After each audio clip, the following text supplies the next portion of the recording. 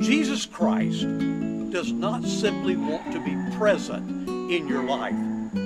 He does not want to be predominant in your life. He doesn't even want to be president of your life.